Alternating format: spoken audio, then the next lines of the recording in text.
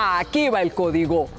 En la agenda del presidente Juan Manuel Santos no cabe un almuerzo más. Para los próximos días tiene agendados uno a uno a los ministros del Interior, de Agricultura, de Hacienda, de Trabajo y de Justicia para preguntarles cara a cara si es cierto que se lanzan al ruedo político para buscar la presidencia o van a seguir en el gabinete.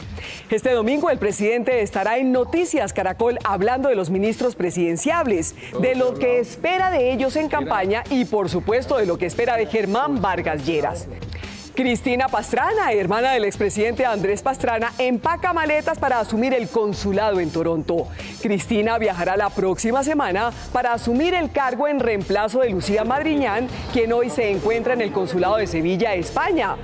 Pueda que su hermano, el expresidente Andrés Pastrana, haya sido férreo, crítico y opositor de Santos, pero ella se va ¿por qué se va. Y una mala jugada le hicieron los delincuentes al futbolista colombiano Farid Díaz. El jugador de la selección Colombia fue víctima de un atraco a mano armada en su propia casa. El delincuente le robó su anillo de matrimonio y su celular.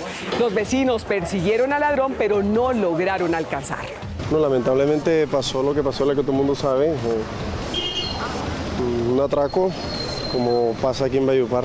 Normal, pero gracias a Dios no pasó, no, no, no se fue mayor y ya. Donald Trump, el recién electo presidente de los Estados Unidos, se reunió con Steve Harvey. ¿Lo recuerdan?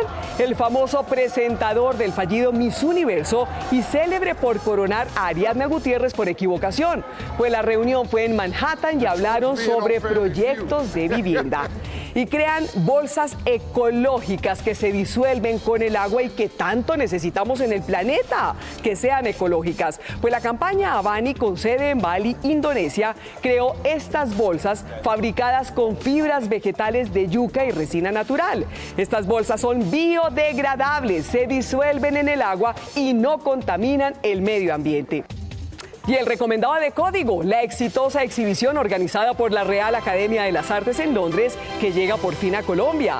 Es un recorrido por más de 50 retratos del enigmático y controversial artista Manet, que revive la sociedad parisina del siglo XIX. Se podrá ver en las principales salas de cine del país del 27 al 29 de enero. Hasta aquí el código Caracol.